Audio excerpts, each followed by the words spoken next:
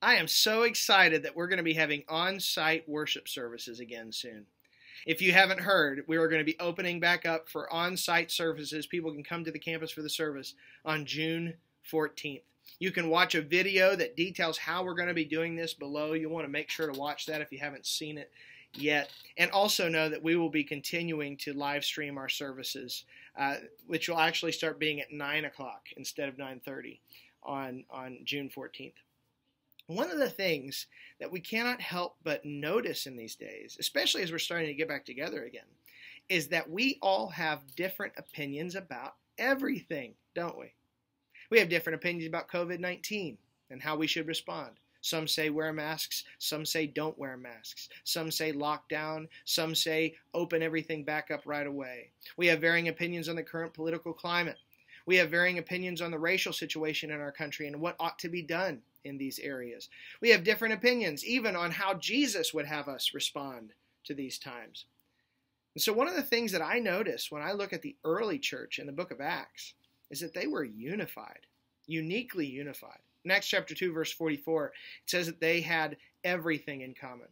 In Acts chapter 4, verse 32, it says, Now the full number of those who believed were of one heart and soul and they received and then they received dire warnings for, uh, uh, against division uh, throughout the, the, New Testament. In John chapter 13, verse 35, Jesus famously says, This is how they will know you are my disciples, by your love for one another. Well, if it's true that they'll know you're Christians, you're legitimate, credible Christians by your love for one another, then the opposite is also true. They're going to be driven away, see Christianity as uncredible if they see our silly divisions. Paul spends much of his writings preaching against silly divisions. In fact, in Galatians chapter 5, Paul gives a list of what he calls the works of the flesh. Listen to this list sexual immorality, impurity, sensuality, idolatry, sorcery, enmity, strife, jealousy, fits of anger, rivalries, dissensions, divisions, envy, drunkenness, orgies, and things like these. Paul says, I warn you, as I warned you before, that those who do such things will not inherit the kingdom of God. So the big question then is how? How did they do it in Acts? I mean, surely they had differing opinions. We know they did. We read about it. We read about them in the New Testament. And how are we supposed to maintain unity today with all the different opinions, all the different passionate opinions that we have amongst our people? Well, there's a lot we could say about this, but I think the best place to start is with the words of Paul in Philippians chapter 2, verses 1 to 11. So I just want to take the rest of our time here and read through these verses and make a few comments. Paul says, So if there is any encouragement in Christ, any comfort from love, any participation in the Spirit, any affection and sympathy, does any of that describe you? He says, If any of this is true of you, complete my joy by being of, listen, the same mind having the same love, being in full accord and of one mind. Paul says that if you have any encouragement from Christ, if you have the Holy Spirit in you at all, if you're comforted by the love of God, fight for unity. And then he tells us how in verse 3. He says, Do nothing out of selfish ambition or conceit. In other words, examine your motives constantly, especially if you're about to disagree with someone. But in humility, count others more significant than yourselves. Let each of you look not only to your own interest, but also to the interest of others. Right? You be most concerned for the interests of others. How often can that be said of you and I? Verse 5 Have this in mind among yourselves, which is yours in Christ Jesus. What that really means is think like Jesus thought. And then Paul's going to tell us how Jesus thought. And this is profound.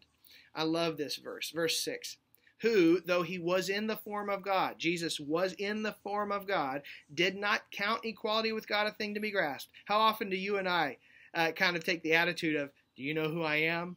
You know, do you know, uh, don't mess with my rights, right? Jesus was God himself, and he chose not to use that status as a thing to be grasped, as to a thing as a thing for his own advancement. He disciplined himself for 33 years not to exercise the power of God. Verse 7 Instead, he emptied himself. How did he empty himself? By taking the form of a servant, being born in the likeness of men. He became one of us. In verse 8, being found in human form, he humbled himself by becoming obedient to the point of death, even death on the cross. Jesus emptied himself by denying his God power and coming to us, right? I'm reminded of, of Jesus eh, making the statement that he came to serve us, not to be served. That's amazing. God himself comes down to earth to serve us, not to be served by us. This is the kind of mind that we're supposed to have. Jesus emptied himself by denying his God power, coming amongst us, becoming our servant, humbling himself, forsaking his rights, his power, his very life to save us. Now, listen, this doesn't mean you cannot voice your opinion or even have healthy disagreements. It does not mean that, uh, that we uh, can't, that we all have to believe the same things about everything. But what it does mean is that we all care most about Jesus Christ and his agenda. And this allows us to begin to see mountains from the molehills. It allows us to let things go.